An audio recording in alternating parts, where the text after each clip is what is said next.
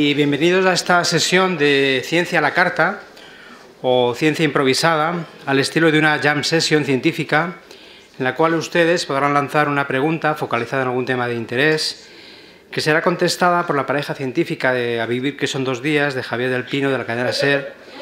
Y está formada, como saben, por Javier San Pedro, científico, periodista, se doctoró en genética eh, y biología molecular y fue investigador del Centro de Biología Molecular Severo Ochoa de Madrid y del Laboratorio de Biología Molecular del Medical Research Council Cambridge. En 1995 comenzó a publicar artículos de investigación científica en el país y en el sitio web de ese mismo periódico, donde ha dirigido algunos blogs de contenidos científicos. Actualmente sigue escribiendo columnas en el país y colaborando en materia en la sección del mismo periódico. Entre algunos de los libros que ha publicado podemos citar Con qué soñan las moscas, del 2004, El siglo de la ciencia, 2009, Destruyendo a Darwin, 2013. pero sí, perdón, Destruyendo a Darwin, ¿no? Ah, Deconstruyendo a Darwin. destruyendo a Darwin. Un mundo en la lavadora, eso sí, ¿no? 2020.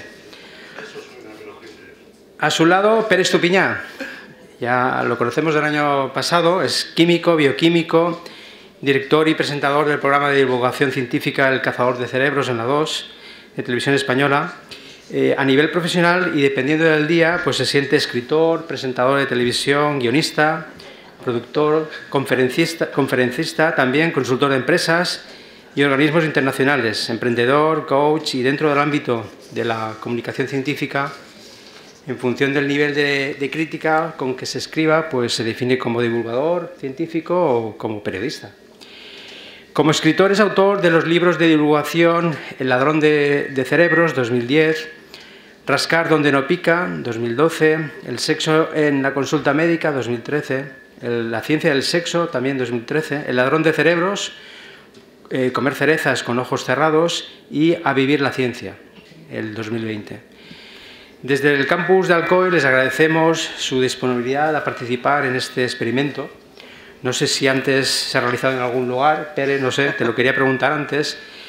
Eh, igualmente a Javier del Pino, que nos lo haya dejado, nos haya dejado a la pareja de, de su programa. Un saludo también para Javier. Y bueno, muchas gracias. Quizás para romper el hielo, bueno, yo te quería preguntar eh, cómo conseguiste entrevistar a Daniel Kahneman, ¿no? Ah. Hace pocos meses, ¿no? Que, no da entrevistas a nadie. Sí. Bueno, oye, pues, antes, antes de responder a tu pregunta, pues bueno, eh, gracias por tenernos aquí. Eh, buena nit a todos. Y no, habíamos pensado porque en algún momento pensamos incluso de sacar diapos, digo, pero esto no, no, representa la radio, ¿no? La pareja científica esta de los domingos que nos ponemos delante de un micro a, hacer un poco eso, ¿no? A, revisar la actualidad científica de la semana y siempre luego tener algún entrevistado con quien profundizamos en algún tema en concreto. Y, no sé, eh, tú, ¿Tienes algo que decir antes de que empecemos a responder preguntas? Eh, no, no, yo no, he venido aquí a hablar. he venido a hablar de mi libro. Eso, eso, eso, le pasa, te pasa alguna vez, ¿eh? Que, ha habido varias, no, varias, tres o cuatro veces que estábamos escuchando a algún entrevistado o, o incluso yo explicando alguna cosa y del Pino te dirige la palabra y tú de repente digo, ¡ay! Es que estaba como escuchando, porque normalmente estás haciendo la sección y piensas, bueno, escuchas lo que dicen, pero piensas a ver qué voy a, qué voy a opinar después, o qué voy a decir, o qué voy a preguntar, y tú estás allí en tu mundo. Sí, tengo un mundo interior que no recomendaría invadir a ninguno de los presentes, pero realmente concentrarme en un tema durante un tiempo muy largo no es mi especialidad. Para eso tenemos a Pera. Y, teníamos una chuleta. Sí, sí. Habíamos... queríamos hablar Sí. y, responderemos tu pregunta, ¿eh? Pero... sí, verdad. ¿Cómo has entrevistado a sí, sí. Bueno, respondo la pregunta y después sí habíamos pensado es que si no participabais, cosa que no ocurrirá seguro, pues teníamos como una chuleta allí de temas de actualidad, científica a, comentar, ¿no? Pero, ah, pero, ¿Tú qué quieres? ¿Que empiecen a preguntar y aquí directamente sin, sin, sin, mediar palabras? Pero, pero eso es la jam, eso es, la, improvisación científica. Es verdad. Eh, ¿Sabéis, que, para hacer una jam session hay que estudiar un montón antes de salir al escenario? Eh, y este no ha sido nuestro caso. Este ¿Cómo? ¿Cómo, que no, Javi? vamos a presentaros el resultado de toda una vida de reflexión profunda sobre las cuestiones más importantes de nuestro tiempo. Llevamos seis años. ¿Llevamos seis años con el programa? Desde, desde septiembre de 2016 seis años cada domingo revisando la actualidad científica. Eso es como, como un conocimiento acumulado que te permite improvisar sobre... se, se ríe. Eh, están explotando. Sí. No, a ver, yo te respondo lo de, lo de Kahneman. Kahneman eh, Daniel Kahneman, quien algunos lo conoceréis, otros no, obviamente, es un psicólogo muy famoso por haber eh, investigado en la hay muchos psicólogos que han investigado en la parte más irracional del ser humano, pero de alguna forma sus, estudios fueron pioneros en, aplicarse al, ámbito económico y sobre todo a, marcar qué sesgos cognitivos nos influyen en nuestras decisiones. Y es verdad que le, dieron el premio Nobel de, Economía a, un psicólogo y ha escrito libros. Bien dado, yo creo, porque la economía antes de Kahneman, o bueno, antes de esa corriente de, de pensamiento psicológico, daba por hecho que eh, la sociedad es un conjunto de agentes eh, racionales, cosa que evidentemente no es el caso. esto no es así, ¿no? De manera que todos los modelos económicos estaban mal. Mm. Así que el premio Nobel de Economía está muy bien dado, sin duda. Sí. Además, antes estaba en el tren y había un. Estaba viendo como feeds de YouTube de, cosas que llegan y, salió que es un clásico, que es el, Game Theory, ¿no? Este de decir, oye, si a usted le doy 100 dólares, hay una condición, tiene que dar una parte a, una persona desconocida que tiene a su lado. Y mm, solo se quedará en esa cantidad si la otra persona acepta el trato.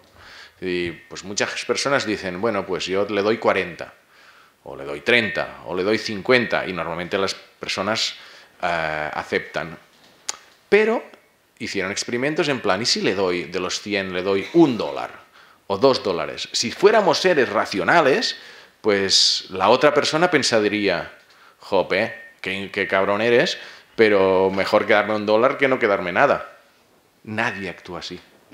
Nadie actúa así. Todo el mundo dice, fuera, porque la emoción de la indignación pesa más que el premio. Que, el cálculo racional de posibilidades. Claro, pero luego pensaron... Otro, ejemplo. Mm, si tú pierdes dos entradas para el teatro que te han costado 100 euros, pierdes las entradas, mm, no te vas a gastar otros 100 euros en sacar otras dos entradas. Ahora, si lo que pierdes son 100 euros, es muy probable que compres las entradas por 100 euros. El resultado, el resultado es el mismo, pero pero de alguna manera lo primero no nos sale, es que no, no voy a gastarme dos veces. Claro. Pero además, fijaros la, la parte más mm, poco intuitiva, ¿eh? porque este, este experimento... ¿Estabas atendiendo? Sí, sí, sí, sí. Este, este, este, este experimento de los 100 dólares de repartirlos, pues después lo hicieron con diferentes subtipos de poblaciones, a ver si había diferencias entre, por ejemplo, entre ricos y pobres. Y lo que asumían era que eh, una persona pobre tendría más probabilidades de aceptar el euro o aceptar los dos euros, aunque fuera injusto, que una persona. Y al contrario, las personas o sea, el, rico, el rico, oh, mira, oye, pues dame dos dólares y que te follen. O sea, ay, perdón. Pero. Es que es de tortosa. Sí, es que. Pero los, lo, era lo contrario lo que la intuición pensaba. Entonces, es, ese. Daniel Kahneman. Es, que publicó dos libros muy influyentes, pues es verdad que una persona muy difícil de, de entrevistar, y yo llevaba un tiempo intentando a ver cómo acercarme a él.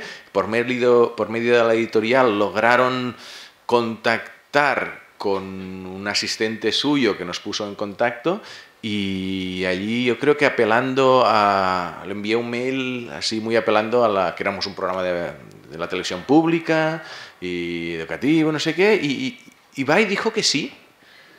Y, y yo creo si es que... estaba perdiendo la cabeza. Sí, la, la primera pregunta que le hice era si había... ¿Está, está usted bien?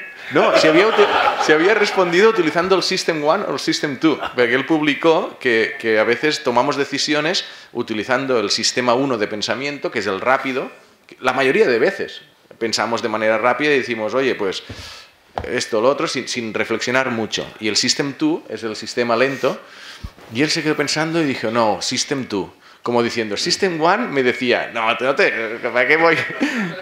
Y además nos recibió en su casa, ¿eh? pero dice, bueno, es telepública y tal, pues lo pensé y aceptó. Y bueno, fue uno de los hitos del, del programa. Eh, Desde entonces el programa entró en un anticlímax, francamente. Claro, después, entonces ahora la te- televisión española nos dice, no, no, pero super, tenemos que, tenéis que tener supercerebros como el de Kahneman, ¿eh? Digo, ya, mira, nada, venga. Es, que es como el Barça que gana una Champions y al año siguiente más. más. Sí, es, lo, es lo malo de ganar, que luego esperan lo mismo al año que viene. Ay, no sé, ¿qué te- si tenéis inquietudes, ¿no? Que nos pregunten. Sí. Y nosotros veis que nos enrollamos por cualquier- con cualquier cosa. Que empiece la última fila de año.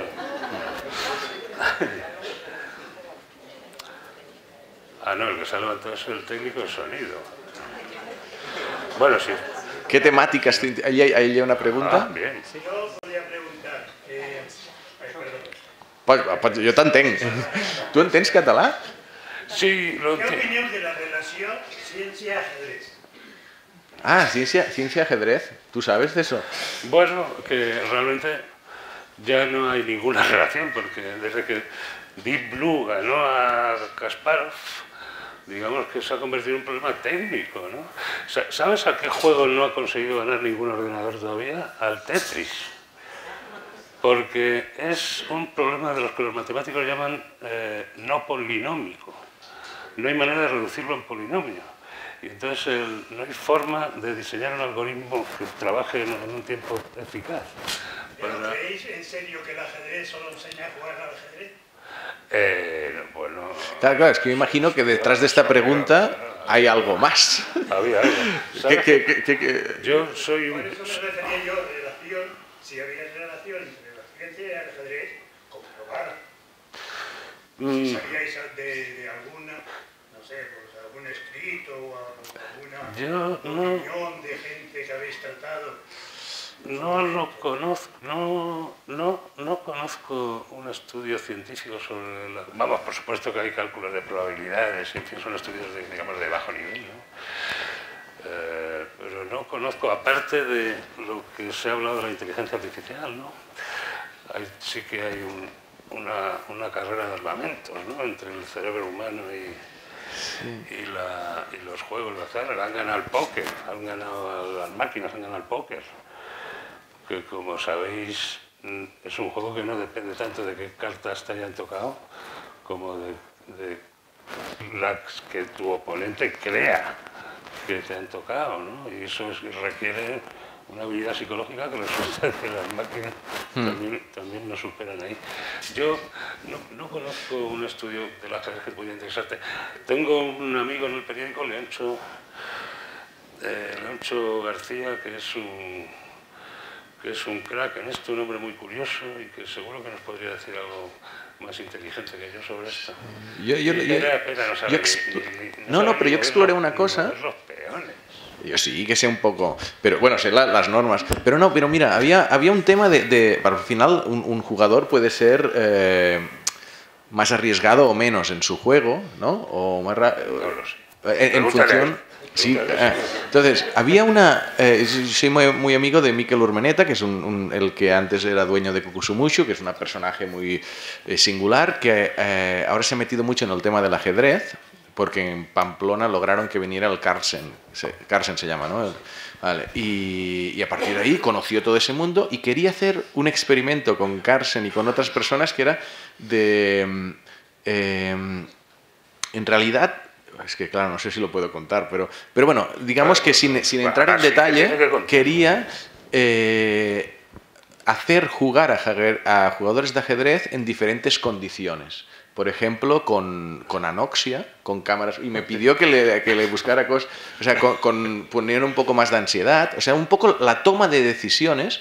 eh, Si le puede hacer más arriesgado. Sí, cómo afecta y tal. Y luego creo que había algo, pero no sé si es muy sólido, sobre cómo el hecho de jugar desde pequeño a ajedrez te puede organizar un poco la mente o estas tomas de decisiones, pero eso se, te- se podría... Sí, Seguro que sí. si ponemos en PubMed algo sale. Sí, sí, pero ahora quedaría muy mal. hombre. Sí, claro.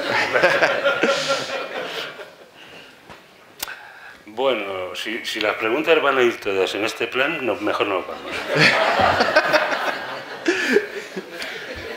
Eh, yo, por, por- por seguir con la historia de la inteligencia artificial, en el Go, no, no, que yo sepa, no en el ajedrez, pero en el Go, que es este juego chino que dicen que es todavía más complejo, hay, eh, hay algunas estrategias de alto nivel, ¿no? no mover una ficha, sino diseñar una estrategia de alto nivel que los grandes maestros habían, habían los más grandes maestros chinos habían desarrollado durante siglos, ¿no? como jugar por las esquinas, o en fin, que tiene una serie de conceptos de alto nivel que, que los demás ni siquiera entendemos. Y la- el ordenador, que en este caso era el de Londres, el de los de Google, DeepMind, DeepMind eh, Cero, se llama, porque aprende desde cero, jugando contra sí mismo. Eh, resulta que el, ordenador supo reproducir esas técnicas ancestrales de alto nivel y además se le ocurrieron otras, otras dos que, que ni todos los maestros chinos que nos ha dado la historia habían llegado a concebir nunca. Y son también estrategias de, de- de alto nivel, de, de nivel abstracto, ¿no? como la que yo he oído que tenéis los jugadores de ajedrez, que no estáis pensando si me van a comer la- el alfil, sino que estáis pensando a, a otros niveles de abstracción más grandes. ¿no? He tocado. E- Esto es, yo creo que es una de las claves de la inteligencia artificial. ¿eh? Es decir, porque tú puedes imaginar un software que tenga en, en mente, en su mente, todas las jugadas que han hecho los grandes eh, ajedrecistas o jugadores de Go o lo que sea, y sepa elegir de todas las que se han hecho porque ha visto todas esas partidas, ha analizado todas las partidas de la historia y las sabe todas. Y de todas esas partidas de Go, sepa elegir la mejor jugada. Pero lo que ha hecho ese software, lo que acaba de contar Javier, es hacer jugadas que no se habían hecho nunca. Sí. La creatividad. o Sí, sea, sí. Es, es decir, jope, ya, es- es- ya no es aprender, es eh, ir más allá. y eso es un poco lo, de- lo que da a veces vértigo de la Bueno, y acaba de ocurrir hace poco en una cuestión de un gran interés científico, que es la estructura de las proteínas, cómo se pliegan, el folding. Porque, bueno, entendemos bien cómo una secuencia genética define la secuencia de aminoácidos en una proteína. Pero el problema, de, una vez que tienes esa proteína, que puede, puede tener 300 o 1000 aminoácidos de 20 tipos, unos son positivos, otros negativos, otros hidrofóbicos, otros eh, polares o apolares, Mm, vamos, eh, llevamos muchas décadas eh, fracasando en predecir a partir de la secuencia cómo va a plegarse la proteína y es- de ese plegamiento lo que se deriva su función. Al final, pues no, de una mera línea, una información unidimensional de, secuencia, ¿no? Y realmente la, máquina esta que vuelve a ser otra vez alfa... AlphaGo. El alfa, Go, bueno, no Go en este caso, alfa de la... AlphaFold. Es de AlphaFold, de DeepMind, ¿no? una de Google. En Londres tienen un centro de investigación muy serio, que seguro que conocéis, porque, eh, bueno, algunos de vosotros me refiero, perdonad. A veces se me olvida que estoy hablando para el público en general a veces. Llevamos seis años haciéndolo. Eh, Lo de hablar para el público llevarás general. haciendo tú. Yo imprimo cierto nivel. ¿Y qué? qué? Y es curioso porque ahora Meta... Ah, sí, que ese problema es muy... Bueno, es que eso te saca eh, foldings, o sea, formas de plegamiento de proteínas a partir de la mera información genética, te los saca como churro, vamos. Es que... Y ahora, no sé si viste que hace dos semanas o tres, Meta de Facebook sacó una herramienta para predecir eh, estructura de proteínas también. Ah, sí, sí, sí, salió hace, a mí me lo dijeron un científico así, digo, no me suena de nada, y, y, salió hace tres semanas, es decir, la, la estructura de las proteínas es clave, bueno, para diseño de fármacos, para, para infinidad de cosas, pero sobre todo en biomedicina es una de las revoluciones tecnológicas que harán eh, mejorar desde diagnósticos a medicina de precisión, a todo. O sea, diseño de fármacos, si, si, sabes cómo se va a plegar una proteína, puedes, puedes escribir la partitura para que eso te salga así. Mm. Es un, un, avance formidable. De hecho, hasta hace un par de años estábamos hablando de eso, coge el teléfono. Hasta, hasta hace un par de años estábamos hablando de eso como una de las grandes promesas de la inteligencia artificial. Sí. Pues ya está, se ha cumplido. Sí, sí.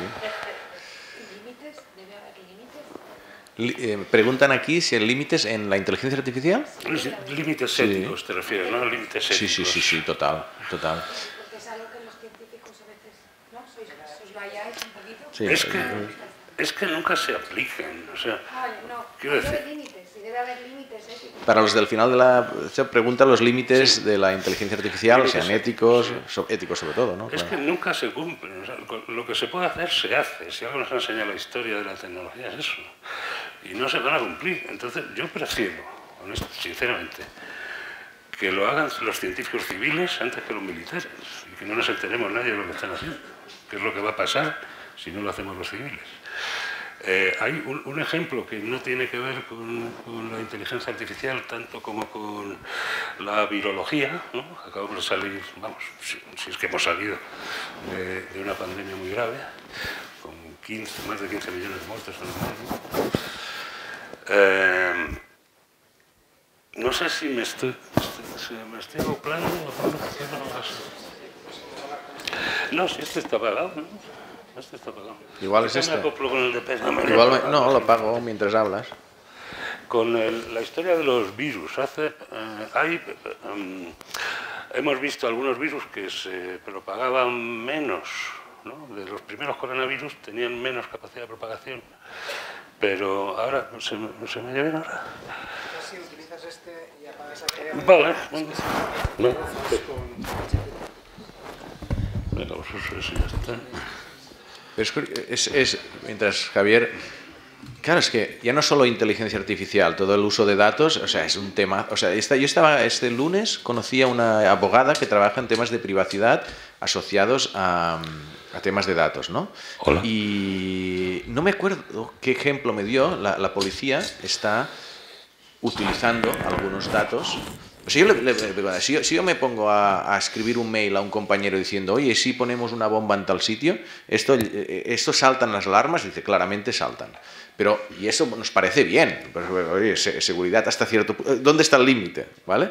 Porque, por ejemplo, hay radares en las carreteras, pero a ver, Google sabe, porque yo cuando pongo el Google Maps y voy de un sitio a otro, me dice, estás yendo a tal velocidad entonces, podría, si quisiera informar, si esto fuera China, informaría... los responsables de tráfico creen que es buena idea, aunque la gente sepa dónde están, porque tú reduces, ¿no?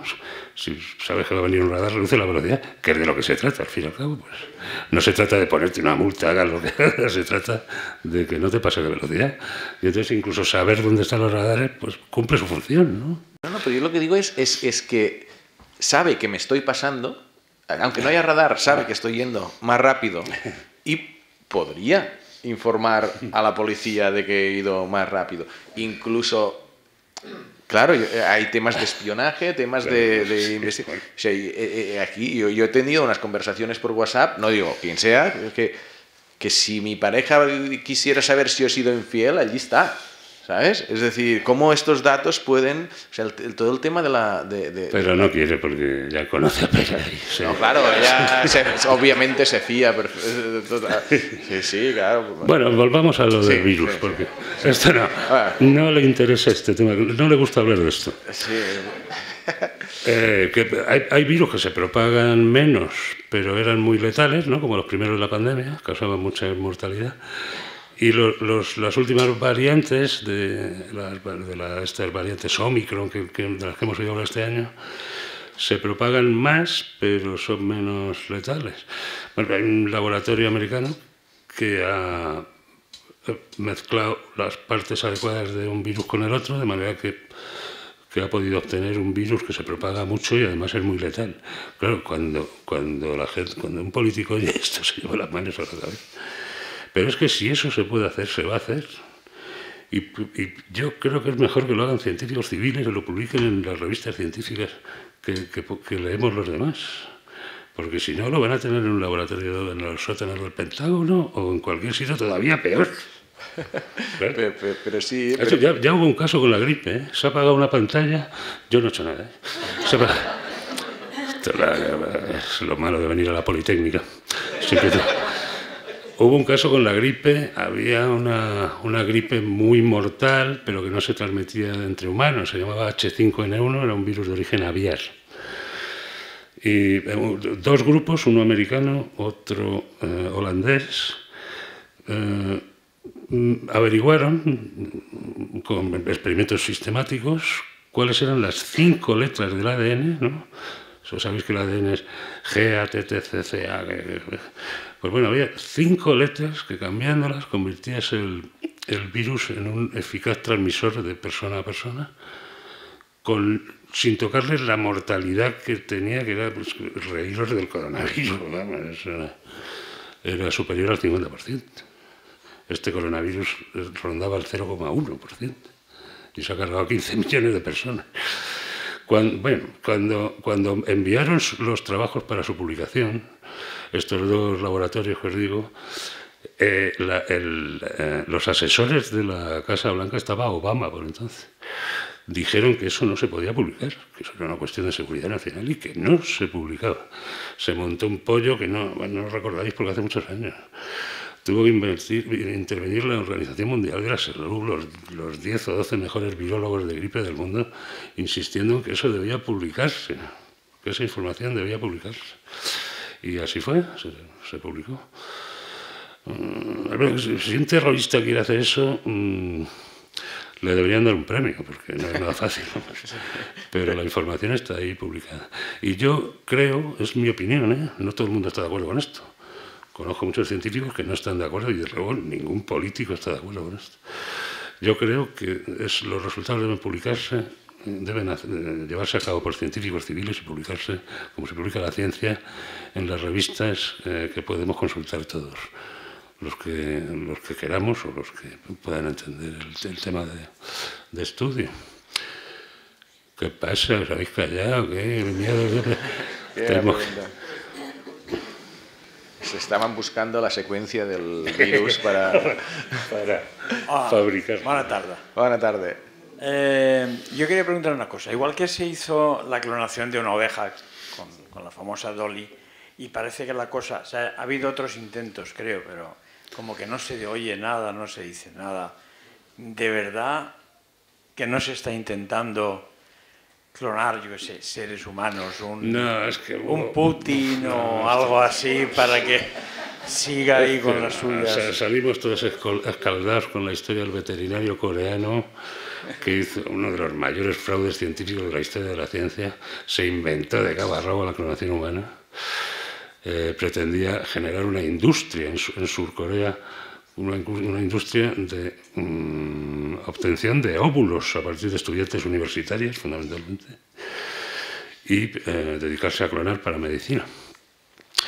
Y no, se sigue investigando en clonación, y en clonación humana, pero nadie está intentando hacer un individuo, una persona o nada parecido. Uh, lo último que sabemos de esto es que antes había un límite a una semana, un límite legal de una semana. O sea, tú puedes clonar un embrión y dejarlo que se desarrolle una semana en un cultivo, pero no puedes pasar, no podías pasar de la semana o no puedes pasar de la semana ni implantarlo en un útero. Y en ese estado está la misma legislación, pero los científicos que se dedican a esto creen que, disculpad, creen que habría que, aumentar ese límite, no para implantarlo en un útero, sino que podemos saber mucho más de la biología humana en un periodo tan crítico como ese, donde se generan malformaciones, donde se generan gran parte de las eh, enfermedades que afligen a, la especie humana, ampliándolo unos días más. estamos hablando de que en vez de una semana sean 10 días o dos semanas. No hay nadie implantando esto y además los, quienes han dicho que lo estaban haciendo son una pandacha. Había un ginecólogo italiano que se llamaba Antinori, se llamará, Severino Antinori, que decía que tenía una que ya estaba clonando humanos habitualmente y que tenía una fila de mil personas en la lista de espera. Era todo mentira y el tío se no sabía ni lo que lo estaba hablando. los otros eran una secta, era una secta, se llamaba raeliana, un chalao que quería llevarse a un millón de personas clonadas a la galaxia de Andrómeda. además hacerlo en una, creo que en alguna isla, igual que hay paraísos fiscales donde puede haber temas de economía, pues hay como islas donde ah, aquí no hay legislación para, aquí lo permitiríamos. ¿no? Alguno habréis visto Los niños del Brasil, una película con Gregory Peck.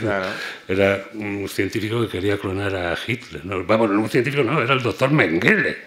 Gregory Peck era el doctor Mengele que quería clonar a Hitler en Brasil por alguna razón. De tal manera, la clonación, claro, no tiene interés militar. ¿no? Es como, tú puedes clonar a Hitler, pero lo más probable es que sin el apoyo mm, social y militar que tuvo Hitler, pues no, y sobre todo la gran limitación es que, y, se ve en, clonaciones animales, que los, los recién nacidos, o sea, hay un montón de problemas genéticos. O sea, el individuo que nace, tú no quieres un hijo que se parezca a tú, pero que le falle de repente, tenga un cáncer prematuro, tenga una lesión de no sé qué, tenga problemas genéticos, entonces no tiene ningún sentido lo que sí hemos visto, algunos os acordaréis, es estas dos niñas chinas que un, científico chino pues hará, hará cuatro o cinco años. Eh, les editó el genoma para evitar que, o sea, para protegerlas contra el SIDA. ¿no? Esto estaba prohibido, sigue estándolo, porque el consenso científico es que la técnica no es segura todavía, puede generar malformaciones, mutaciones en lugares donde no lo esperas. Así que el chino este avisó, eh, eh, eh, se lo dijo al mundo cuando ya habían nacido las niñas, con lo cual ya no, pues, no hay prohibición que valga, eso son dos niñas, dos personas perfectamente normales, además. Deben tener ahora, pues esos cinco años y están perfectamente, por todos lo sabemos. El científico estuvo en la cárcel y no sé si seguirá ahí o qué, pero eh, las posibilidades estas de las que hablamos, de la edición genómica con CRISPR, mm, son técnicas para editar el genoma humano y que además son muy eficaces y, bastante relativamente fáciles de aplicar, pues se ha hecho, al menos en ese caso. Tenía una segunda pregunta, que si no me la respondéis vosotros ya, creo que no. Ay, madre. Es ahondando en el tema psicológico. Si un abogado pierde el juicio, ¿se vuelve loco? ¿Cómo? Es un chiste. Si, un abogado pierde el juicio, ah, es de Tortosa, ¿no? Ostras, no lo había pillado. Qué bueno. ¿Qué mes? ¿Qué mes? Allí el fons.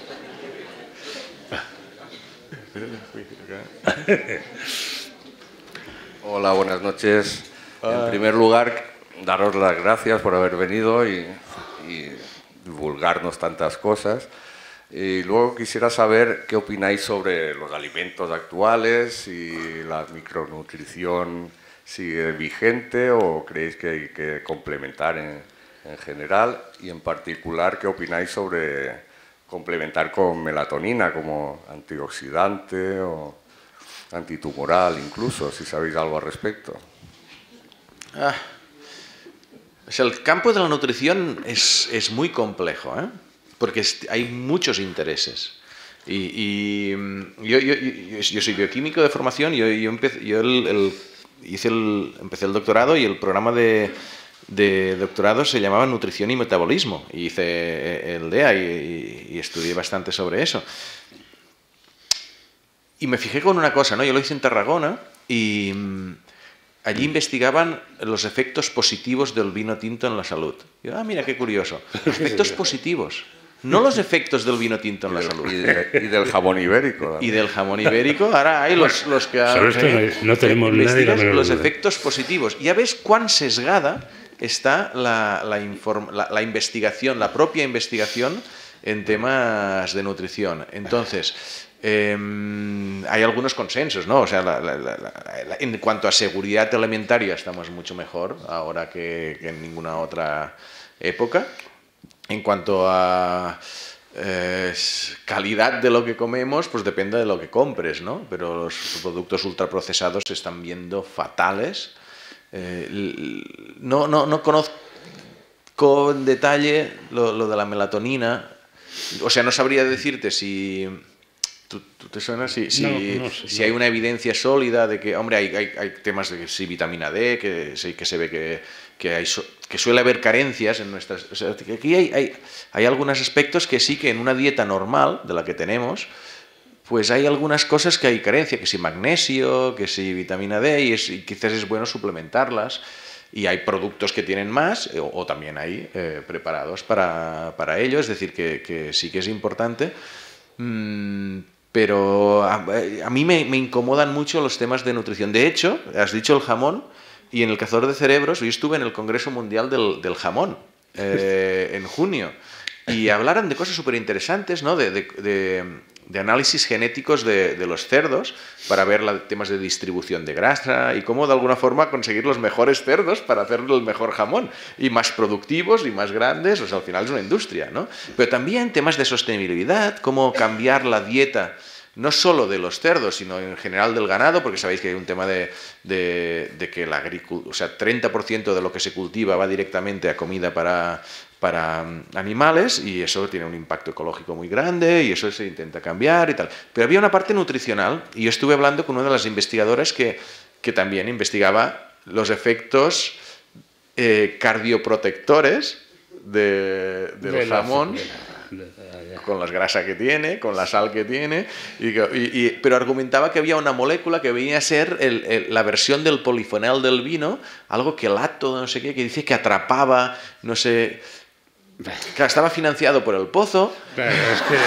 Claro, y de- no, no, pero, pero ellos no influyen en lo que nosotros investigamos. Hombre, eh, eh, pero si quieres que, que te continúen dando dinero, no les vas a decir es, que... No es nada fácil distinguir la ciencia seria de la nutrición, que la hay, de... En fin... Es muy complejo, sí. De las cosas más burdas, sí, ¿no? La dieta del cordero, adelgace comiendo cordero antes de que amanezca, cuando no lo absorbe su intestino.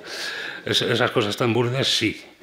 Pero hay una- un terreno ahí en medio que, bueno, que, es que a lo mejor pueden decir algo que es verdad, pero no toda la verdad. Hay cosas- a lo mejor sí el jamón tiene un Sí. polifenol, pero es que lo que dice espera, pero eso tiene Yo- yo que grasa saturada De toda. lo, de lo más interesante en nutrición es todo el tema de la nutrición personalizada. Eso no, no se habla tanto porque todavía no tenemos.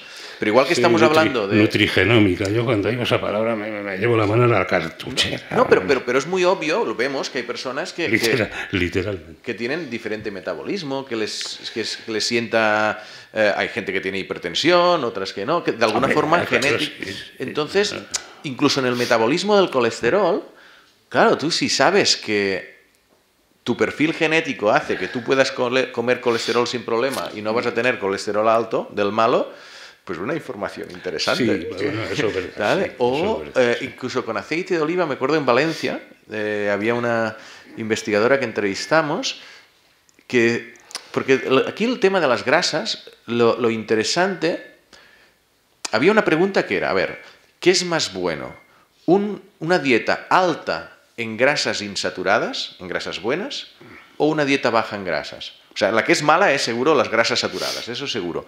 Pero lo que se hizo, todos los estudios de Predimed, cuando salió hace unos años ya que, el aceite de oliva era muy bueno para la salud, era porque demostraron que es mejor una dieta alta en grasa insaturada que baja en grasa. Pero esta investigadora dice, depende de tu perfil genético. Hay como un 10% de personas que no es así. Entonces, claro, saber cuál es tu perfil genético para saber qué alimentos en principio te van a ir mejor o peor, pues bueno, es una, una de las vías más novedosas, ¿no? Y- Tú eres escéptico. Sí, bueno, porque, no, ¿o soy escéptico, sí. Aunque bueno, es- pues será por ignorancia en, mu- en muchas ocasiones. ¿eh? A veces el escepticismo es una forma de ocultar tu, tu ignorancia. Eh, que os iba a decir que uno de los vías que yo creo que van a abrir camino en los próximos años sobre nutrición es la falta de ella. O sea, el ayuno, las virtudes del ayuno, del ayuno intermitente, de en qué es condiciones, de las dietas de restricción calórica que han demostrado en todos los animales en que se ha probado, y más allá de los animales, en levaduras, que es un organismo unicelular, la levadura del pan, o en eh, gusanos, eh, moscas, ratones, ratas, perros, eh, que alarga la vida. La- o sea, comer, no, no me refiero a la dieta, a la típica dieta hipocalórica que usamos todos cuando queremos perder unos kilos. Me refiero a much- comer mucho menos que eso. A pasar un poco de hambre. te- a pasar hambre, sí. Teniendo un cuidado exquisito con que no falte ningún nutriente esencial, ¿no? Vitaminas, minerales esenciales. Hay el ácido linoleico en que el aceite de oliva es rico es una grasa esencial, pues no la podemos sintetizar. Eh, pero lo, último que he visto sobre el ayuno intermitente, que es una de las... Pues nada, esto está demostrado. ¿eh? Os estoy hablando de lo que yo, por donde yo creo que van, van a ir los tiros. El ayuno intermitente eh, juega, puede jugar un, un papel importante en la prevención del cáncer. Hubo un, con- un congreso en el CENIO, el Centro Nacional de Investigaciones Oncológicas, en Madrid, se- donde se presentaron datos interesantes al respecto. Y, en fin, yo creo que es más prometedora la línea de comer muy poco que la de comer ciertos alimentos milagro, polifenoles y demás. Eh, Estamos comiendo demasiado. Demasiada, además, demasiadas grasas saturadas, demasiada proteína y demasiados hidratos, porque con nuestra vida actual eso estaba muy bien cuando traba- trabajábamos todos en el campo, pero eh, ahora, mismo estamos comiendo demasiados hidratos de carbono, seguramente, ¿no? Y hay, que, hay mucho margen pa- para reducir. Por otro lado, además, eh, cuando los africanos decidan ponerse a comer carne, es que, no, es que eh, esto va a ser un factor de am- medioambiental muy importante también. Aparte de que va a causar una verdadera pandemia de, de enfermedades cardiovasculares y cáncer en África. Estamos ya en ello, claro. Lo- tú, tú le dices a un país pobre que no coma hamburguesas y se ríen en tu cara. Tú dame una hamburguesa a ver si me la como, ¿no? Además, si, se- claro, si se lo dice a- desde un país, eh, es- Claro. Europa no tanto, pero se dice de Estados Claro. Unidos, que están... El, el festival de la grasa en la que vivimos, ¿no? ¿Qué más? ¿Qué más? Ahí, ahí. Vale, hola, buenas noches. Pues siguiendo el hilo de la conversación de la, la alimentación y la carne, hace poco leí que se va a empezar a cultivar carne en laboratorio. Sí, Entonces, sí. desde el punto de vista ambiental, quizás se pueda resolver el impacto de los gases de metano y tal por la ganadería, pero ¿qué pensáis vosotros en cuanto a cómo puede afectar eso a la salud de las personas? Al final estamos hablando de qué tipo de carne, si es procesada, Sí, ¿cómo, te- cómo- cómo se toma eso? Puedo hablar un poquito de eso porque la, la hamburguesa de células madre, que tendrá ya, tendrá ya 10 o 12 años, la primera hamburguesa de, células madre la hizo Google. Eh, y estaba allí el, el Kur- Kurzweil, Ray, Ray Kurzweil, el jefe de tecnología de Google, grabando todo con sus, gas, con sus gafas. En una, llamaron a dos gastrónomos, una gastrónoma y un gastrónomo, partieron la hamburguesa en dos y se la dieron a probar. ¿no? Mm, la- pues tuvieron que partir una hamburguesa en dos porque eso había costado tres, no sé, tres millones de dólares la hamburguesa esa, que digo yo, que si no bajan un poco los precios no se van a comer un rosco, pero.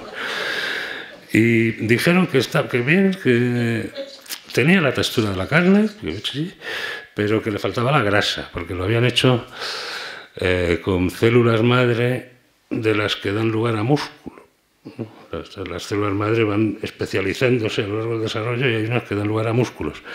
Y no habían añadido células madre de la grasa, con lo cual aquello estaba más bien soso.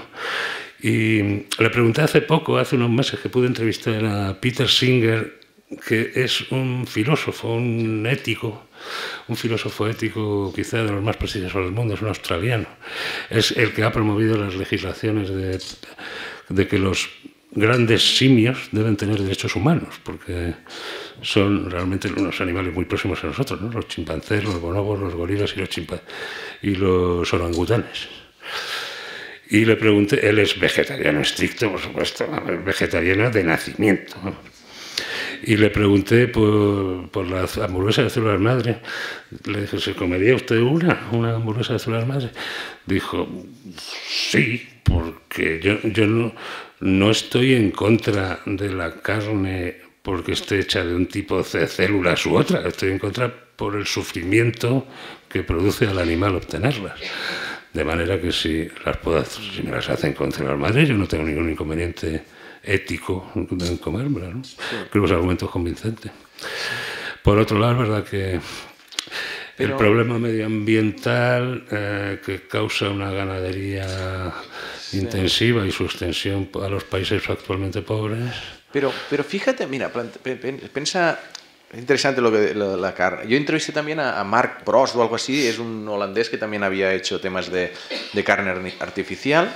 Claro, un filete, y, lo que decías, ¿eh? de las células madre, porque dice, lo que nos cuesta más es la textura, es decir, eh, crecer células madre, pero creces con un filete sin, sin las líneas de grasa por medio y todo eso, ¿no? Y dices, a ver, esto solo puede despegar cuando sea igual de bueno como mínimo y más barato, ¿vale? Y sostenible y tal. Claro, hacer un filete, una hamburguesa es complejo, pero algo parecido al jamón de York. O sea, a veces compramos cosas, hacemos sándwich con cosas. Más o menos. Claro, hacemos sándwich con cosas o, hay, o hay nuggets de pollo que, dices. Que, que, no han visto un pollo ni de lejos. ¿Eso qué es? Entonces, para algo suculento no, pero si logran hacer una especie de carne artificial que mm, sea más barata, ese es que al final es la clave, ¿eh? que en el supermercado tú compres una pechuga de algo parecido a una pechuga de pollo eh, o, rebozada, que no sepa muy diferente que pueda incluso venderse como más sana porque tenga menos grasa saturada y, que sea más barata, o sea, para, de, para el día a día ciertas cosas es que ya sirve. Entonces, eh, eh, los vegetarianos ya toman hamburguesas, se hacen con berenjena, están muy buenas, realmente. O sea, pues, va a haber, pues sobre todo gente muy joven, porque hay pueden adoptar el, vegetarianismo o el veganismo por una variedad de razones, ¿no? Unas son de tipo ético, otras son de sufrimiento animal, otras por el medio ambiente y otras por salud, ¿no? Dependiendo de qué tipo de vegetariano seas tú, pues puedes adoptar una solución de esas o no. Ahora, este, tu Pera estaba diciendo hace un momento que los alimentos ultraprocesados están bajo el punto de mira y claro, ya, esto, ya... esto ya es ultra hiperprocesado, pero, pero, pero, pero, yo creo que hay, allí hay algo que... lo del precio del robo es fundamental, porque claro, el Mal, Prost dijo que, que, le daba no sé, qué, no sé cuántos años dijo que, que él confiaba, pero creo que, habían, yo creo que han pasado ya. siempre, siempre. Pero, bueno. Siempre los periodistas siempre les preguntamos a los científicos, ¿y este avance cuándo va a llegar a, a la sociedad? Y siempre dicen, 10 años. Estoy diciendo, 10 años yo me he retirado ya. y las reclamaciones al maestro, al ¿Qué más? ¿Qué más? Allí hay una pregunta.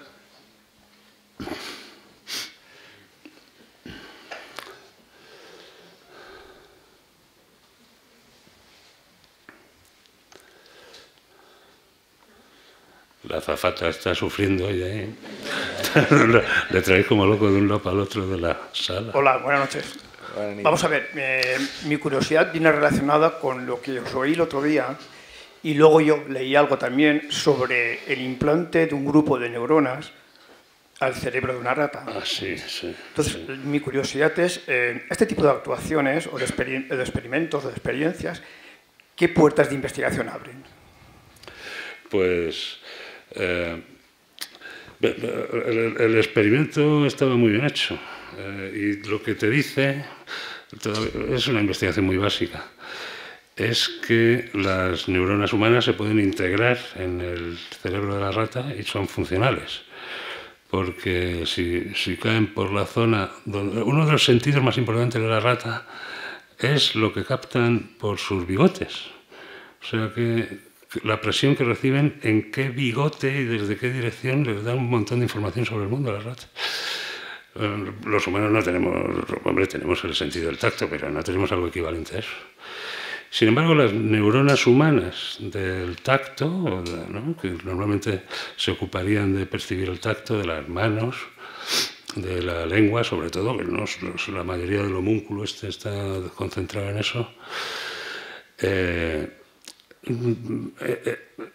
pueden sustituir a las de la rata, que normalmente reciben las señales de los bigotes, y modificar el comportamiento de la rata, pues, con lo que le hayas educado a hacer cuando le tocas un bigote, bebe agua, como en el perro de Pavlov.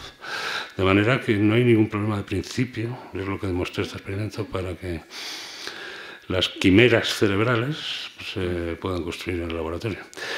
Eh, las mayores utilidades son clínicas, no obstante, se pretende que sean clínicas, no de este experimento en concreto.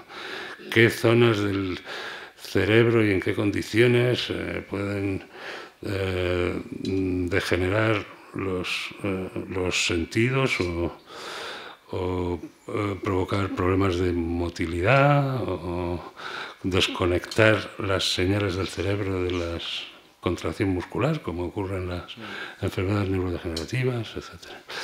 Y desde luego, pues son, son experimentos polémicos, porque tú imagínate que le, implantas a un gorila un trozo de cerebro el área de Broca, que es donde se, empieza procesa el lenguaje. no, no, pero es, la, pregunta esta que, ha hecho usted es una pregunta que nos hacemos constantemente, o por lo menos yo me la hago, con la mayoría de, noticias científicas que, leemos y que dices, ¿cuán importante es esta noticia? O sea, ¿merece la pena que la hablemos en el A Vivir o no? Y es tan concreto, yo me acuerdo haberla leído y la primera sensación es de que qué chorrada es esta. O sea, no. Después leyendo, eh, vi que le daban una importancia trascendental. No, porque no es el, como decía Javier, no es tanto eh, el haber sido capaces de hacerlo, no es, no, es, ese experimento en sí, sino es que abre una nueva manera de, de una nueva herramienta para investigar. Es decir, tú ahora puedes tener neuronas humanas implantadas en roedores, por ejemplo, y probar fármacos que actúen sobre esas neuronas en funcionamiento, vivas, integradas en un cerebro, y, hacer más experimentos. Entonces lo veían como, como algo más tecnológico, ah, bueno, tecnológico, como un, como un, como un modelo nuevo. Pues o algo así. un modelo de Parkinson, por ejemplo. Claro, y, en, este pues caso sí que lo vieron como algo pero me, me, ha gustado esta pregunta porque a mí me pasa a veces. Ves, noticias científicas que dices, bueno, esto es, es, Sí, pero no, no, fue una locura, un chalá, porque de estos híbridos cerebrales se lleva hablando, por lo que yo sepa, 20 años. De hecho, ya hubo un comité de ética dirigido por el filósofo Daniel Dennett que se ocupó de este, intentar establecer unas unas, reglas, unas reglas de, de, conducta sobre estos experimentos a qué zonas del cerebro se podrían implantar, cuáles no. En fin, es esto puede dar lugar a cuestiones éticas de un, de un interés indudable. Vamos. Es casi como. Eh, éticamente está a la altura de resucitar a un Neandertal, ¿no? que es un individuo humano, inteligente, una especie humana inteligente, que cuidaba a sus enfermos, enterraba a sus muertos, en fin. Mm y, a lo mejor, si técnicamente se pueda, se podrá, cuando se pueda, deberemos hacerlo. Que hace hay un, un Neandertal ahí en pleno siglo XXI metido en un laboratorio. Son, hostia, en fin, son, son cuestiones éticamente muy interesantes, sin duda. ¿Hay una pregunta?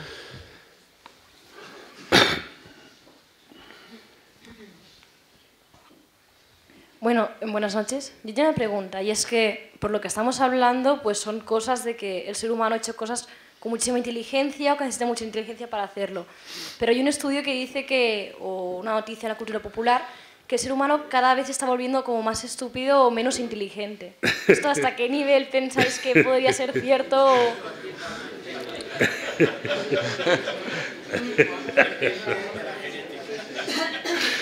sea, de, de nacimiento no, crea, no creo que se nazca... O sea, no es que, no es que nazcan ahora... eh, Eso es, eso- o sea, y- No, es que no sé, no he oído eso. No, no me, vamos, no me extrañaría, ¿eh? Pero no, no, sé a qué, no sé a qué te refieres. No sé qué tipo de evidencia o de... Sí, bueno, han salido estudios que igual, pues claro, eh, el ser humano antes tenía que tener otras habilidades, como por ejemplo cuando sobrevive en la naturaleza, pues no es lo mismo que ahora, o cuando se dice que también en países más, menos desarrollados puede llegar a desarrollar su inteligencia de manera diferente. Hombre, no, que, Bueno. que- que perdamos habilidades. Y mira, yo tengo una anécdota, me acuerdo, una vez estuve en la... Dos veces, de hecho, en el Amazonas, en, el, en, el- en una parte que se llama Yasuní, y allí utilizan guías eh, autóctonos de las tribus de allí para moverse por el Amazonas. El Amazonas es, es- o sea, te pierdes al instante, porque es, no tienes ninguna referencia, solo hay árboles al- altos. No, no, no, no puedes saber dónde está una dirección u otra. Y ellos tenían la capacidad que nosotros, a ver, yo seguro que genéticamente también la tengo, pero el, el- o sea, en el entorno en que te educas o creces, pues hay capacidades que se pierden sin duda. Y, y Sí, pero bueno, los- Y ellos esto- era- era no puedes interpretar que la especie está perdiendo inteligencia. De hecho, hay, hay un efecto que se llama el efecto Flint que indica lo contrario. En los, por lo menos en los países industrializados, eh, con, con alguna excepción, eh, lo la inteligencia, o sea, lo, lo que mide el, el IQ, o el, el cociente cociente. de inteligencia, sea lo que sea, si lo queréis llamar inteligencia, hay mucha discusión sobre esto, pero lo que mide el IQ está creciendo en los países industrializados eh, desde hace décadas y nadie sabe a qué se debe esto. Mm, la mi hipótesis favorita es que es, es la nutrición, que está mejorando, pero hay, hay escuelas psicológicas sobre el tema. No, pero, pero, no sé, pero- pero sí no- entiendo que puede haber habilidades habilidades Hombre, que, sí, que- que se habilidades, van- sí. habilidades concretas que si miras solo esas supuesto. dices hombre pues ahora los No, chavales de ahora no, no, no, no no tienen saben. estas habilidades pero es que tendrán otras también ¿no? Claro. Y, y- y en general yo creo que sí que los, los estudios muestran el cociente medio subiendo, pero... mm, ¿Qué mes? ¿Qué mes? Aquí hay una pregunta. En cuanto, por ejemplo, a la evolución de la enfermedad de la- del Alzheimer, en, en- el tema, en el tema, por ejemplo, de lo que sería el perfil... Espera, que, que atrás no te, atrás no te estarán En oyendo. al tema de la evolución de del Alzheimer, en cuanto, por ejemplo, el perfil genético eh, en, en estos momentos, ¿no? Porque parece que, que anti- hace unos años como que se hablaba mucho, ¿no? Del tema del Alzheimer. Últimamente Sí. como que ya no pasa nada. Pero eh, ¿cómo, cómo está el tema de la investigación del Alzheimer en cuanto a esa evolución genética, mayor nivel de estudios, menor nivel de estudios, según donde estés viviendo?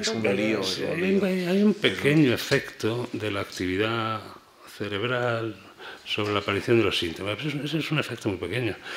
Mm, Un médico le dice a los pacientes que se pongan a resolver sudokus pa- para mantenerlos activos, crucigramas, lo que sea. Eh, eh, pero, y sí, hay, hay un pequeño efecto que, es- que se puede medir, pero es, un retraso de unos meses en la aparición de los síntomas. Es poca cosa. Y En cuanto a fármacos, eh, es, es- es interesante porque, claro, se están buscando fármacos para el Alzheimer desde hace mucho y, y ha habido grandes de- decepciones, un poco relacionado con lo que decíamos de, de, de lo de integrar neuronas y, tal. O sea, había fármacos que funcionaban en ratones, modelos de ratones con Alzheimer, que dices, bueno, es un cerebro que, que también tiene esa acumulación de placas de, de mielina, de todo, tal, pero que después, cuando lo pasabas a clínica, no funcionaban nada. Creo que esta semana Roche ha sacado resultados de un ensayo que tenían muy potente que tampoco ha funcionado. El que se aprobó, el Acusemac este... a o como- principio de año. se aprobó un, un fármaco, se aprobó, diciendo que tendría efecto. Por la FDA, sí. Pasado el tiempo también ven que no... es que Incluso hay gente se- dudando de la propia hecho, fisiología de la enfermedad, si lo de la acumulación de placas es... la investigación sobre el Alzheimer tiene, una tendencia preocupante a publicarse en notas de prensa. Y entonces es que al día siguiente la, la, farmacéutica sube en bolsa así y, y luego cuando tienen que publicar el trabajo con las revisiones científicas adecuadas, aquello resulta que no funciona. O no funciona como decía. Y claro, la bolsa vuelve a hacer así. Pero ahí, pues, no sé. La parte genética sí que, sí, que se, sí que se sabe que hay un componente genético que no es determinante. Es decir, tú puedes tener. Sí, factores, sí, sí. Tú puedes tener más predisposición, pero no quiere decir que, que esa predisposición la, la, mm. vayas a tener. Entonces, hay otros factores que no conocemos que seguro. Porque cuando una persona tiene ese gen y no, lo, y no sufre Alzheimer y otra tiene ese gen y sí sufre Alzheimer, es que algo más hay que, no, que los diferencia y no, lo sabemos. Claro, no es una genética simple. Claro, nada, que ver, nada mendeliano, ¿no? Que, que, se correlacione con un solo gen o con unos pocos. Hay efectos poligénicos, ¿no? pequeños efectos de muchos genes a la vez. Y, pero bueno, el despiste sigue siendo completo sobre las causas del Alzheimer. O sea, el grado de despiste que tenemos con eso. ¿eh? Hay quien habla de virus, el otro habla de eso, de la falta de actividad intelectual. Pero, como ejemplo, de nuevo, en julio, junio o mayo estuve moderando una mesa redonda con investigadores de Alzheimer. Y es un tema que en el Cazador de Cerebros, llevamos ya siete temporadas, no hemos tratado todavía. Y le dije a uno de ellos, es que claro, es que cuando leo no veo nada nuevo.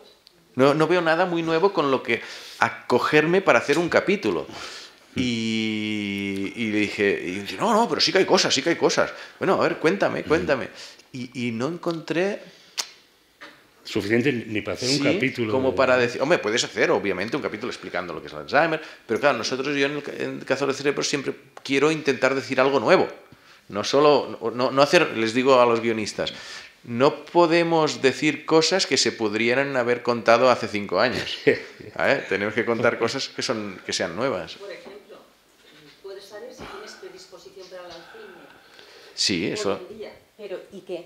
Claro, y, te, fastidia, saberlo. Pero, Claro, de hecho, hay, una de las cosas que más gracia me hizo de, de Jim Watson, de Watson y Crick, los descubridores de la doble hélice. Watson estaba vivo todavía. Y hace, cuando empezaban los genomas personales, hmm. a, principios de los años 2000, eh, le pregunté si se, si se había hecho el genomas. Dice, sí, me ha convencido una empresa de que me lo lea, pero les he dicho que me lean todo menos el gen APO ApoB2, ¿no? que es uno de los factores genéticos más importantes del Alzheimer. Digo, pero ¿no quieres saber si tienes predisposición genética al Alzheimer? Dijo, no. No, no, puedes hacer nada.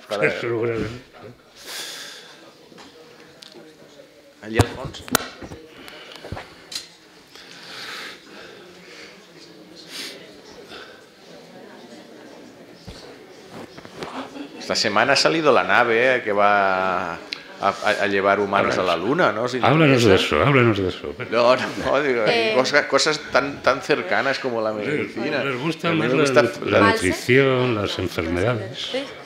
Jo el que havia llegit eh, recentment respecte a les enfermedats neurodegeneratives com l'Alzheimer és una relació estreta amb unes bactèries de la boca. És possible? Ah. Estudis de sí. 2021, no és prou recient, que relacionen això, una mala higiene bucal y una bacteria determinada. Hace poco había, sí, el otro día venía un, sí, había un biólogo en, en el país que decía que, que, mantener la boca limpia y sana era importante para muchos aspectos de la salud. ¿sí? Pues, no, pero no, no, de la salud, sino de enfermedades neurodegenerativas, que bacterias de la boca pueden afectar a ese aspecto. No lo sé, yo no, no, no, no sé, no te sé responder. Clar, o sea, li, clar, no sé, és que clar, és que això és el que ens passa, no?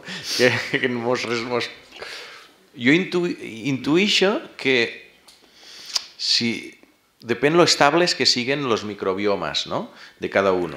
Es decir, hay, hay, hay una parte de bacterias en la boca que cambia en función de si comes una cosa, comes otra, o si te, te lavas más los dientes o menos, no sé qué, y eso pues imagino que, es más difícil relacionarlo con el Alzheimer.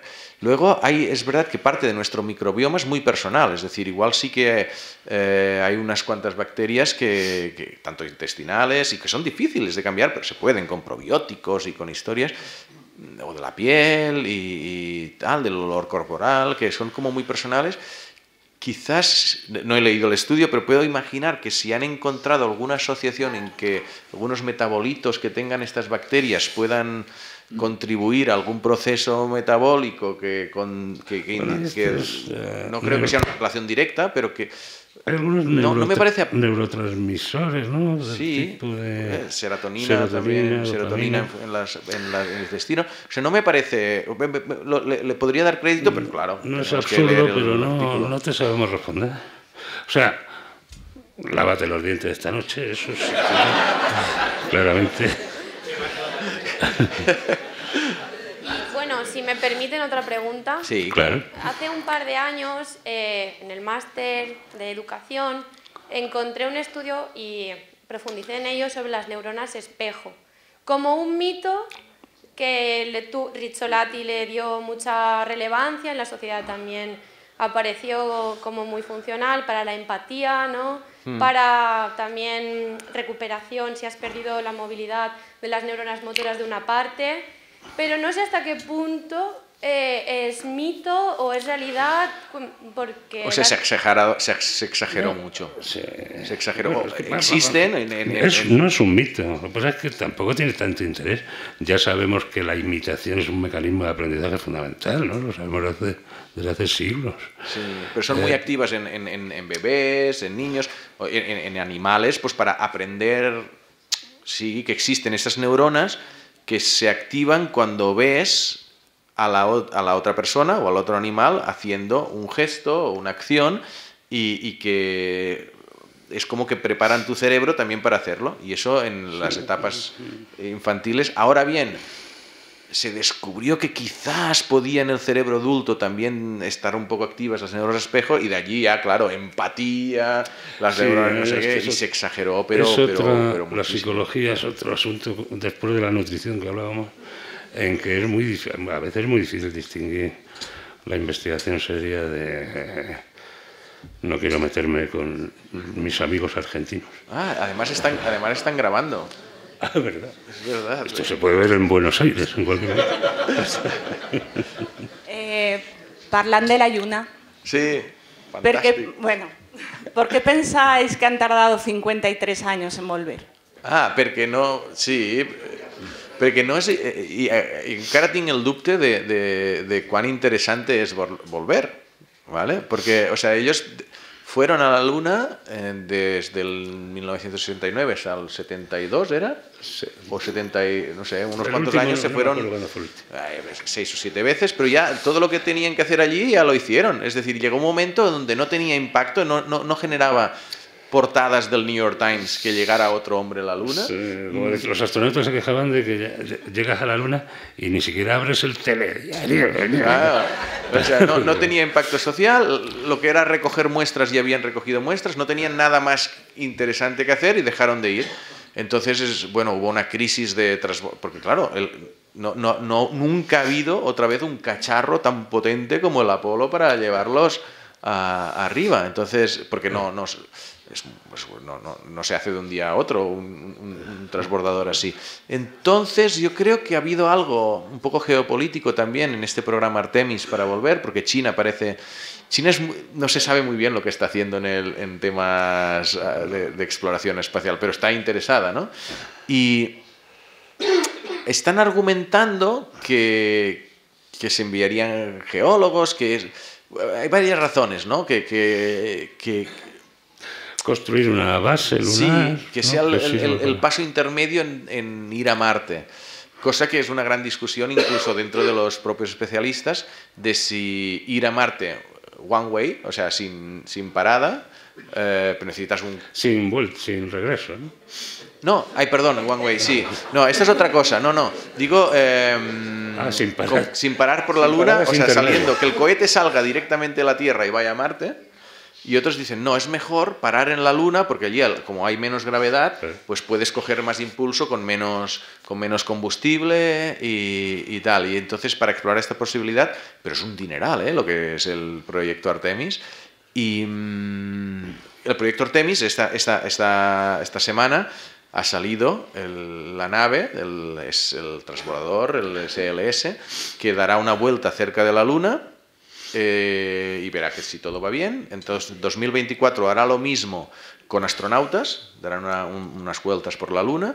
Y si todo va bien, en 2025 ya harán una tercera misión, el Artemis 3. Esta semana ha salido el Artemis 1, que ya dejará otra vez eh, humanos, incluyendo una mujer y una persona de color, eso están comprometida la NASA en que sea así, en la Luna en 2025. Y argumentan eso, que para recoger muestras, pero es que, a ver, los robots que tienen en Marte ya recogen muestras. No sé hasta qué punto hace falta Hombre, un humano, ¿no? es- es lo- Y- Tiene mucho más impacto, ¿no? Enviar, Claro, tiene más impacto. astronautas humanos. Pero solo por impacto, los que 90 y pico yo creo que es millones lo- que vale. Es lo, ya es lo que buscan un poco. Ya la primera llegada a la Luna ya fue un intento de Kennedy, que no llegó a verlo, el pobre. Bueno, fue un intento de ganar a los rusos en algo, ¿no? Le, le dijo a sus asesores, a ver qué podemos hacer que le ganemos a los rusos, porque la, la primera, el, el primer humano puesto en órbita lo habían hecho los rusos, fue Gagarin, ¿no? y eh, llevaban ventaja en la carrera espacial. En la carrera espacial.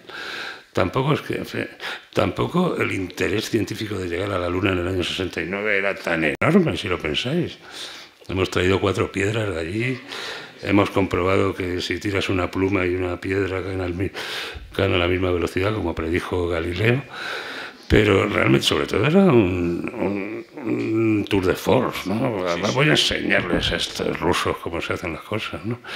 Y, a- y yo creo que algo de esto ya ahora también. Sí. Porque mandar misiones tripuladas, pues es una marcada... mm, hasta Sí. seguir grabando. Hay, hay, hay- a, a- a mí, a mí hace un tiempo me, me- que es- me decían que, que Estados Unidos tenía... Es, que Estados Unidos es líder, a nivel científico es el líder mundial sin discusión.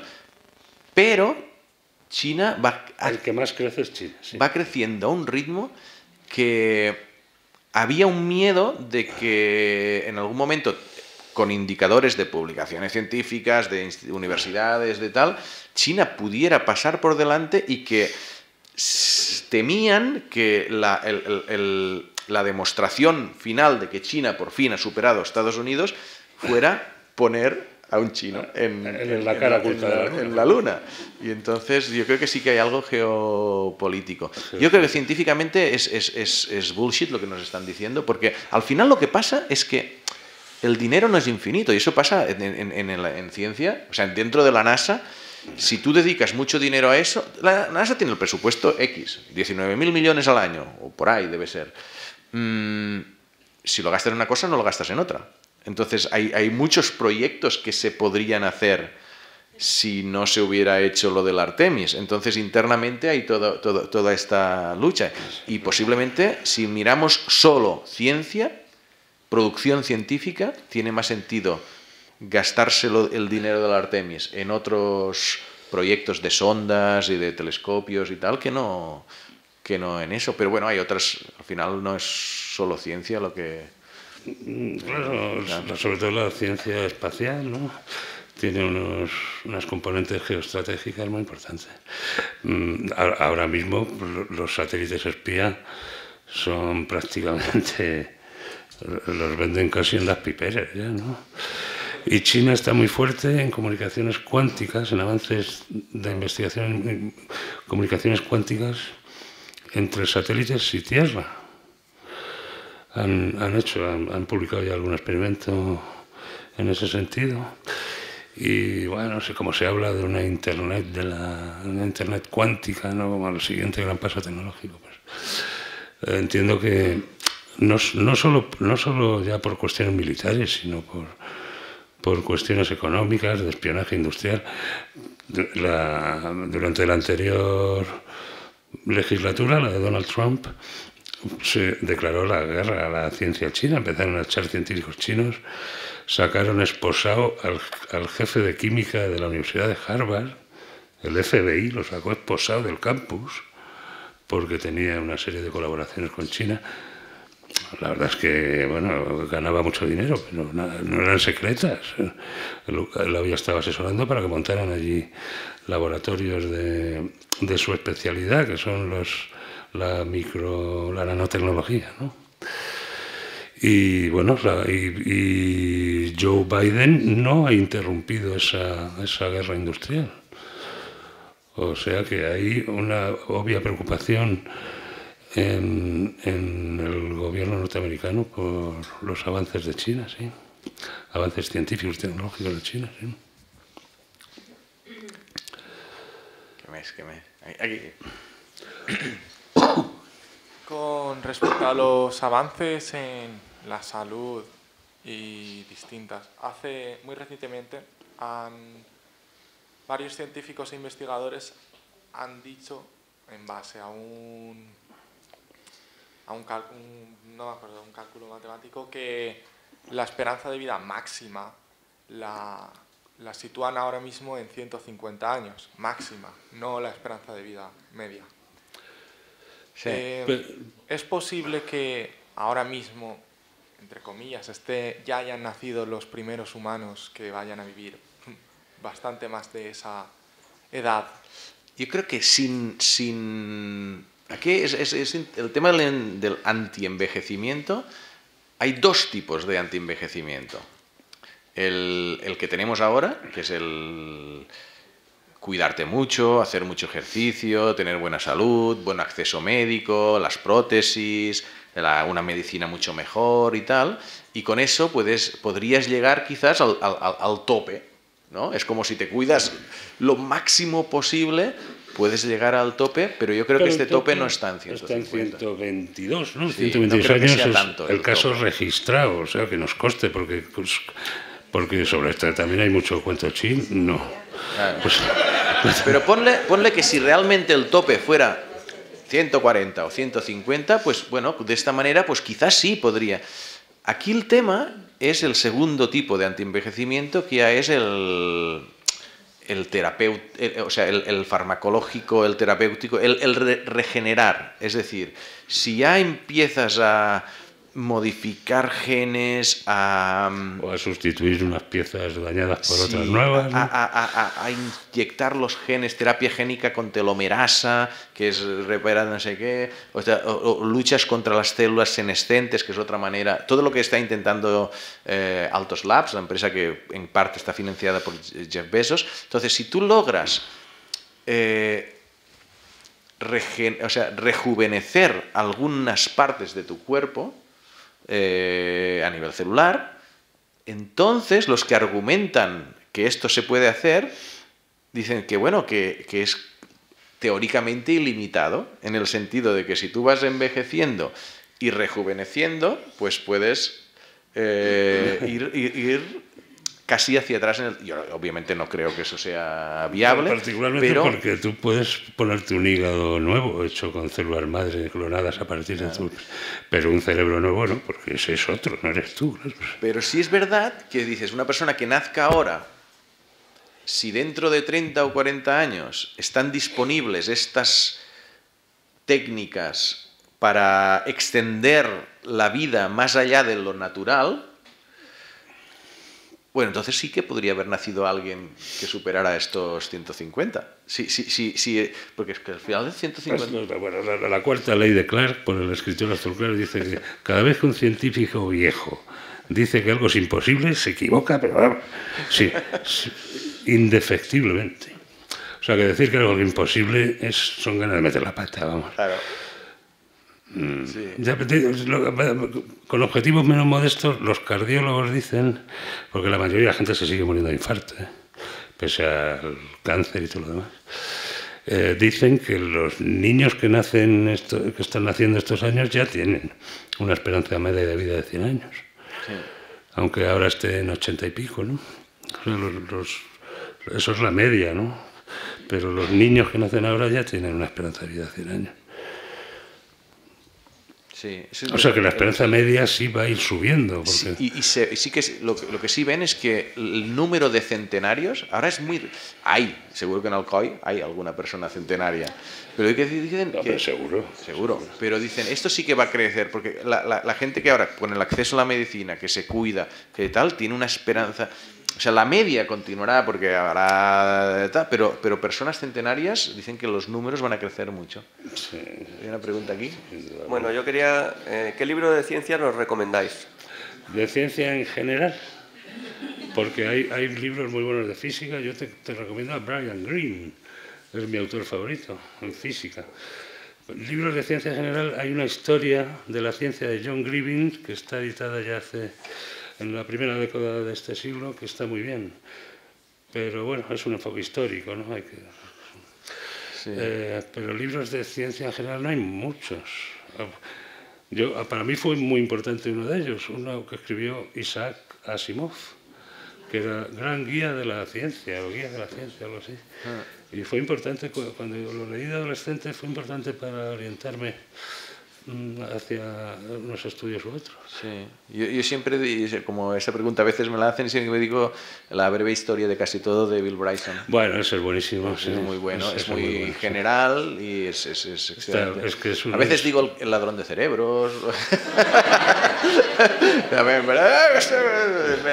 pero... Eso, lo, eso lo cortáis ¿eh?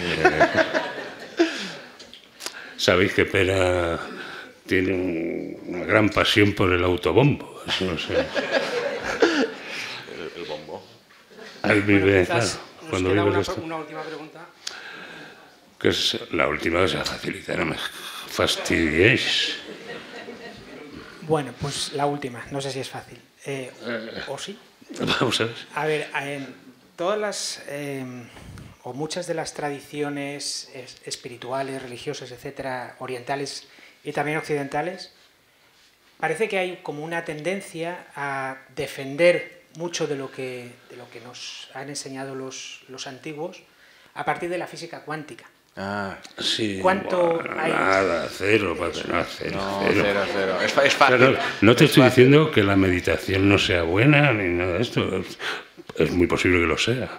Pero, pero lo que tenga eso que ver con la física cuántica es nada. O sea, no- o sea Tagore no sabía nada de los quantum ni de nada. No, es que además la cuántica es que opera solo en lo, en lo atómico.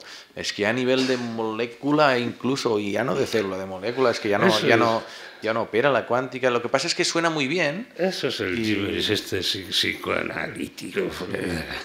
Entonces, Estos oye- oyen campanas y enseguida le aplican a- a- al ancestral arte de ganar dinero, que es a lo que se dedica.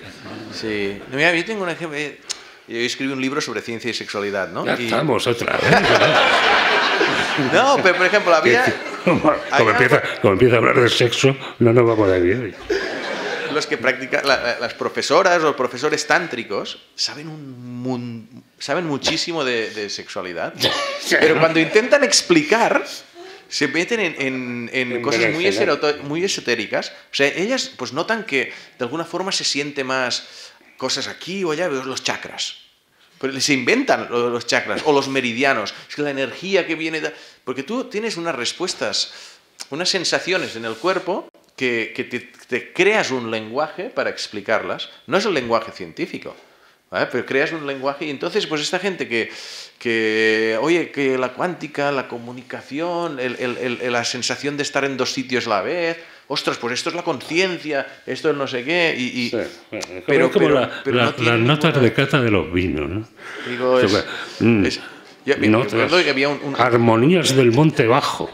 Había un, un sexólogo que sabía mucho de la ciencia del sexo y, y- y yo le entrevisté y dije, Buah, pero si tú le preguntas a mi mujer, te dirá que yo no sé nada de sexo. ¿Vale? Entonces, es interesante que el- el- lo, lo contrario, el, el- sexólogo sabía mucho de sexualidad en cuanto a academia, cómo funcionaba el cuerpo, todo eso, y Pero nada, su- a nivel práctico, el tántrico era- era lo contrario, sabía mucho a nivel de, de práctica y tal, pero de teoría y tal, o sea, súper sesgado. Pero bueno, yo creo que en, en- en esto Yo me voy hacia los... Tú también te vas a los temas que más te... más cercanos. De, de sexo, que no... Era, yo no puedo dar una charla sin que salga el tema. Tengo que me- meterlo de alguna manera. Está bien. ¿Tú, tú- tú has visto la edad media de esta audiencia? Pero Javier... bueno. Vamos a cerrar. Oye, tirémonos, el- tiremos una foto, tiremos una foto con el público.